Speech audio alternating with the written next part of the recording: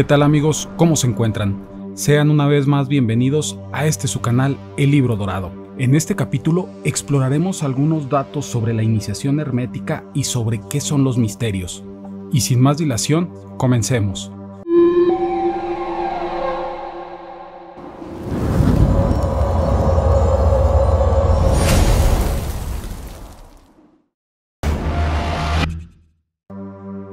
Para comenzar a hablar de los antiguos misterios, debemos de saber de dónde proviene la palabra misterio, ya que esta proviene del latín mysterium, que a su vez se tomó del griego mysterion. Esta palabra significa iniciado. Solo tardíamente esta palabra adoptó también en estas lenguas el significado de cosa secreta, oculta y desconocida, la que le damos hoy en día pero tanto en Grecia como en Roma este vocablo designaba a un tipo de religión, una serie de cultos religiosos bastante extendidos y llamados misterios o cultos mistéricos. Tanto en Grecia como en Roma había un culto público a los dioses tradicionales conocidos por todos, Zeus Júpiter, Apolo, Atena Minerva, Atemis Diana, Hera Juno, Demeter Ceres, etc. Sus templos estaban destinados a contener la estatua del dios y sus tesoros de ofrendas. Aunque toda la gente tenía acceso a estos cultos públicos, únicamente los iniciados tenían acceso a los misterios, que este en realidad su base es una plena creencia escatológica Ahora que tenemos la idea de qué son los misterios, hablemos sobre esto, ya que aparte de existir el culto público entre los antiguos, existía un culto secreto denominado los misterios, al que únicamente eran admitidos quienes habían pasado por ciertas ceremonias preparatorias conocidas con el nombre de iniciaciones. Las naciones se intercambiaban los dioses, pero no introducían siempre el culto secreto al mismo tiempo que el público. Sabido es que el de Baco fue admitido en Roma mucho tiempo antes de que sus misterios fueran instituidos en esta ciudad, pero a veces se adoptaba a un dios extranjero con el objetivo de establecer y de celebrar un culto secreto, como ocurrió en el caso de la introducción del culto de Isis y de Osiris entre los romanos. Los cultos más difundidos en la antigüedad fueron los de Orfeo, Baco, Eleusis, Mitra, y algunas naciones bárbaras conocieron estos mitos por boca de los egipcios antes de que fueran introducidos en Grecia.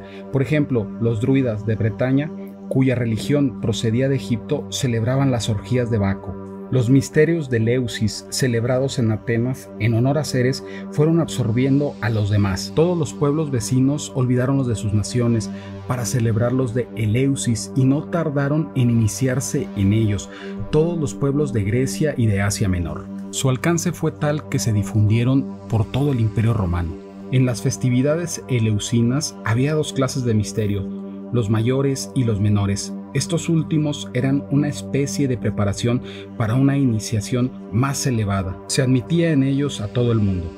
Ordinariamente se hacía un noviciado de tres años y a veces de cuatro. Según dice Clemente de Alejandría, lo que se enseñaba en los grandes misterios concernía al universo y era el fin, la cumbre de todas las instrucciones. Ahí se veían las cosas tales como ellas son, y se examinaba la naturaleza y sus obras. Los antiguos decían, queriendo expresar con más fuerza y facilidad la excelencia de sus misterios, que los iniciados serían más dichosos después de la muerte que los demás mortales y que mientras que las almas de los profanos serían enterradas en el fango, cuando abandonaran sus cuerpos y permanecerían encerradas en la oscuridad, las de los iniciados volarían hacia las islas afortunadas, hacia la morada de los dioses. Platón afirmaba que los misterios tenían por objeto restablecer la pureza primitiva del alma y el estado de perfección de que ella había descendido. Epicteto decía que todo lo que en ellos está ordenado fue instruido por nuestros maestros para instruir a los hombres y corregir sus costumbres. Proclo pretendía que la iniciación en los misterios elevaba el alma desde una vida material, sensual y puramente humana hacia una comunión, un comercio con los dioses. La pureza de costumbres y la elevación del espíritu eran cualidades que se representaban y se prescribían a los iniciados. Ser iniciado debería de tener una reputación inmaculada y ser hombre virtuoso. Luego era examinado severamente por el mistagogo o presidente de los misterios. Suetonio refiere que al viajar Nerón por Grecia, después de haber asesinado a su madre, tuvo deseos de asistir a la celebración de los misterios de Leusis, pero no se atrevió a hacerlo porque el reproche interno de su crimen le hizo variar de propósito. Los iniciados, sometidos a instituciones tan virtuosas, eran considerados por los demás hombres como seres felices. Cuanto más antiguo era el iniciado, más respeto infundía. No tardó en considerarse deshonroso en no serlo, y por virtuoso que se fuera o se pareciera, el pueblo sospechaba de que no era iniciado, tal como ocurrió con Sócrates. Y como podemos apreciar, estos cultos fueron realmente grandes y venerados en la antigüedad. Y de hecho, aún hoy en nuestros días existen sociedades secretas o incluso las religiones que incluyen dentro de su filosofía misterios. Me gustaría hacer un paréntesis para ampliar lo que sería la información y el entendimiento de este tema y es acerca del el título que recibían los iniciados en la antigüedad. Estos eran llamados epoptas, palabra que significa el que ve las cosas tales como son, es decir, sin velo, por contraposición al nombre con el que antes se les dominaba mistos, velado, lo que significa lo contrario. Muy bien amigos, y esto sería una pequeña introducción para poder entender lo que estaremos viendo en los siguientes videos.